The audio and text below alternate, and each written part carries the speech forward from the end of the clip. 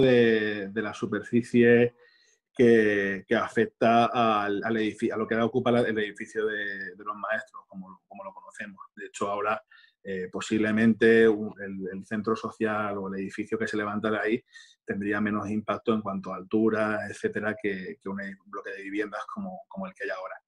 Eh, a efectos de, cohesión con, con, esa pista cubierta, eh, estamos hablando, no, no, estamos hablando de la construcción de un pabellón, sino de, la, levantación de, una cubierta básica y de unos pequeños vestuarios que, que permitieran al colegio pues, tener esa infraestructura deportiva, pues, dicho de alguna manera, eh, dentro de también que hiciera las veces de, equipamiento para, para, el propio patio. Tenemos el ejemplo de, la pista que hay en el Colegio Salesiano, sin ir más lejos.